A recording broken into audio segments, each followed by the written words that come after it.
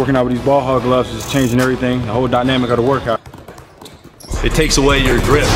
So the ball slips out of your hands. You really got to be able to control the ball. For quality basketball training products, go ahead and log on to ballhoggloves.com. God first, work until. To Jimmy Butler, who's arriving at the podium. Jimmy, what made such a dramatic difference between games one and two? To you, what was the biggest difference? Um, they they made shots that they missed last game. That's just what it is. It's gonna be hard to beat anybody when they shoot 50% from the field and 50% from the three. Uh, they were the more physical team overall, and um, they got one on the road.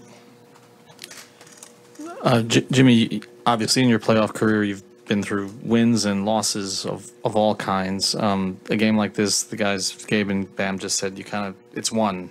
You know, you kind of, how do you, do you just move on from it? You toss out the tape or you, you kind of just, or do you try to learn as much as you can from it before you move on to game three? I mean, yeah, you do got to move on. Um, I don't like to move on from this because I, I it, it, has to hurt.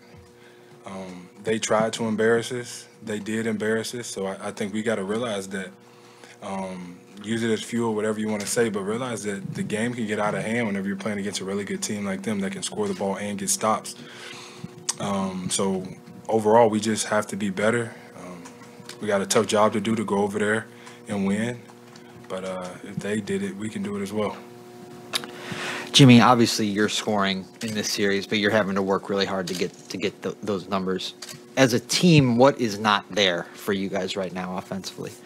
Uh, I mean, I think I got to do a, a, better job of getting everybody else involved. If I'm being brutally honest, I got to find that that fine medium, that fine line in between when to be aggressive and when to make sure that I can get guys open. And you know, I got to basically do Kyle's job and make sure guys are in spots where they can be comfortable and be the most successful.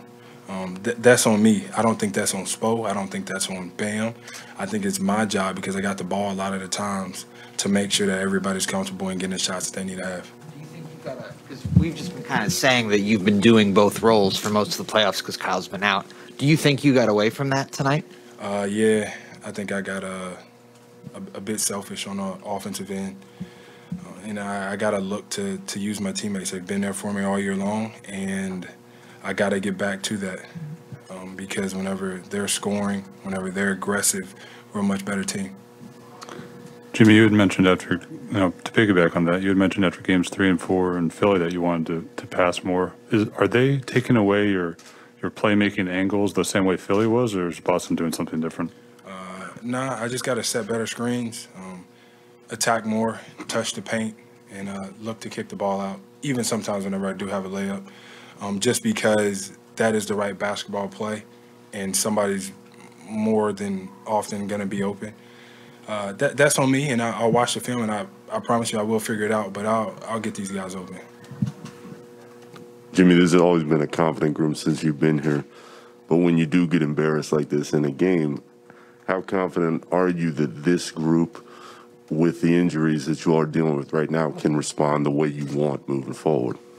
I look at it as it it can get too much worse. You know, they whipped our tail on our home floor.